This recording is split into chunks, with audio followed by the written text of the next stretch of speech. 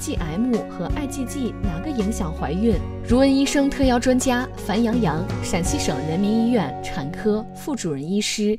现在都提倡优生孕育，孕妈们在备孕的时候基本上都会来做孕前检查。那么就包括一个 TOUCH 系列，TOUCH 系列都包括什么呢？有弓形虫。分疹病毒、疱疹病毒，还有巨细胞病毒，它包括 IgG 和 IgM。那么临床上，如果 IgM 是阴性的话，妈妈们就不必担心了，说明你近期没有感染；如果是 IgG 的话，说明既往有过感染，现在有抗体了，你的身体有一定免疫力了，那就更不用担心了，可以放心的去怀孕了。如果我在备孕期的话，IgM 是阳性的话，那现在我们就要先做治疗，再复查好了，我们再怀孕。当然，也有些孕妈在备孕期没有来做检查，我们在怀孕期间来做套齿系列的检查，有 IgM 阳性的，临床上是有的，比较少病例。这种情况下，我们会严密 B 超监测，看孩子有没有畸形，包括唐氏儿的检查，这些都要做精细的筛查。